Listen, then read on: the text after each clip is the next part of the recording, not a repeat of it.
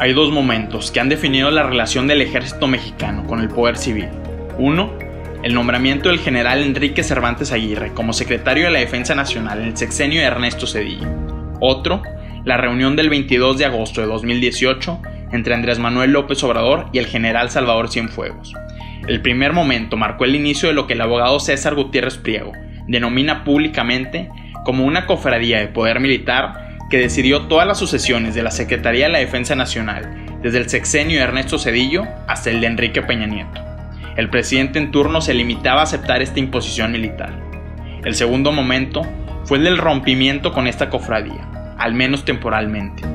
Ese 22 de agosto de 2018, López Obrador le hizo saber a Cienfuegos que el nombramiento del hombre más poderoso del ejército lo tomaría quien estaba por convertirse en el comandante supremo de las Fuerzas Armadas. En los hechos, esto implicaba la cesión del poder militar al poder civil, una acción que quebraría uno de los pilares de estabilidad en el sistema político mexicano.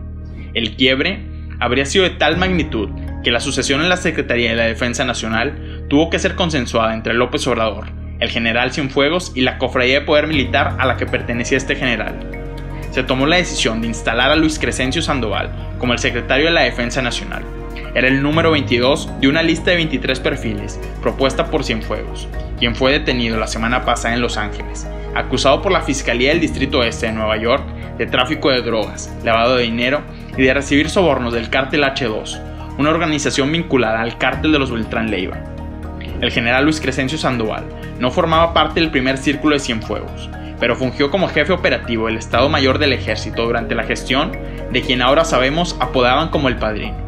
Sandoval también fue nombrado como comandante de la Cuarta Región Militar por Salvador Cienfuegos. Esta reunión entre López Obrador y el exsecretario de la Defensa Nacional marcó el final del discurso antimilitarista del actual presidente, que en campaña prometió sacar a las Fuerzas Armadas de las calles para emprender una nueva política de pacificación. Pero sucedió lo contrario.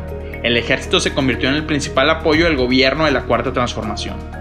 Mariana Velasco, constitucionalista por la Universidad de Yale e investigadora de la Universidad de Göttingen, lo pone de esta manera. El discurso de López Obrador sobre el papel de las Fuerzas Armadas en tareas de seguridad pública cambió 180 grados inmediatamente después de reunirse con Cienfuegos en agosto de 2018. Hoy más que nunca, tenemos derecho a saber qué pasó y qué se dijo en esa reunión. AMLO le entregó a la Secretaría de la Defensa Nacional el control del aparato de inteligencia civil, la responsabilidad de la seguridad pública y la seguridad interior con la creación de la Guardia Nacional, así como la gestión de obras de infraestructura de primera relevancia como el aeropuerto de Santa Lucía. Esto quedó plasmado en el presupuesto.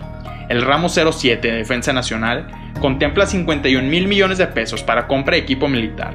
Además, Morena tuvo la deferencia de no tocar un fideicomiso que gestiona alrededor de 30 mil millones de pesos en su iniciativa para extinguir 109 fondos y fideicomisos públicos.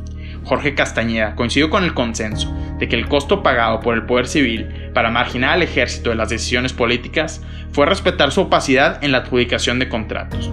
¿Quién vigila al ejército? pregunta Castañeda, quien agrega que México es uno de los pocos países de la OCDE en los que el Ministerio de Defensa no está a cargo de un personaje civil. La política de López Obrador ha exacerbado esta situación. La Ley de Seguridad Interior, que fue cabildeada por el general Cienfuegos en 2017 y que posteriormente sería rechazada por la Suprema Corte de Justicia, prácticamente fue avalada dos años después en la Ley de Guardia Nacional, que fue aprobada por Morena y diseñada en el despacho de la Consejería Jurídica de la Presidencia. Después de la reunión AMLO Cienfuegos, el actual presidente pasó de ser un candidato antimilitarista a ser el jefe de Estado que más áreas de gobierno ha militarizado en la época reciente. La detención de Cienfuegos pone de relieve que López Obrador tenía todas las razones para sospechar de esta cofradía militar. El equipo cercano del exsecretario de Defensa Nacional ocupaba posiciones clave en la seguridad nacional. La pregunta es, ¿por qué AMLO cambió de parecer respecto al ejército? ¿A qué le teme el presidente?